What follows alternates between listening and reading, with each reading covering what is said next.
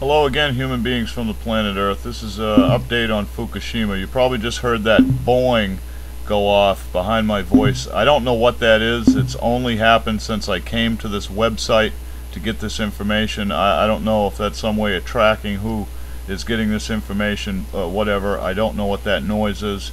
So anyway, uh, this is the update following up this article. Uh, backup cooling system has failed, obviously. Backup power was lost, 47 hours left.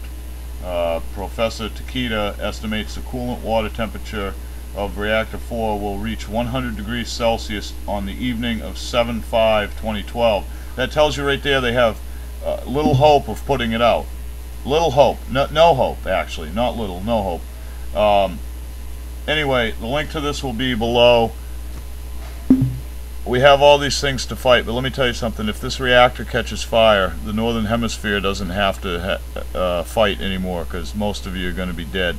Um, our president should be addressing this publicly on every media network, and everybody should be learning how to detox from radioactive fallout. I'm not talking about taking potassium iodide. That's not going to help you. That's that's a short-term foolish thing to do.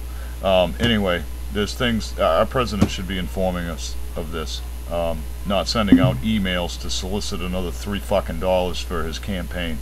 Anyway, that's what I know right now.